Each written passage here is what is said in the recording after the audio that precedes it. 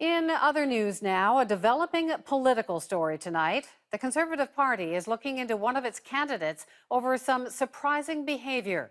For more on that, the CBC's David Cochrane joins us tonight from Ottawa. David? Well, Wendy, this involves Jerry Bance, who is the Conservative candidate for Scarborough Rouge Park. And just a few days ago, Conservative Cabinet Minister Jason Kenney was in Bance's riding for an official campaign launch event. Now, Bance has run for the Conservatives twice before, in 2006 and in 2008. But the issue here is that Bance ended up on an episode of Marketplace in 2012.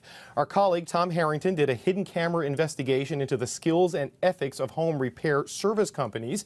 And when he isn't running for office, Bance owns and operates an appliance repair business. So Bance responded to a service call at the house where Marketplace had its hidden cameras set up, and those cameras caught Jerry Bance urinating in a coffee mug and then dumping the contents of that mug into a kitchen sink while the homeowner was in the very next room. Just take a look.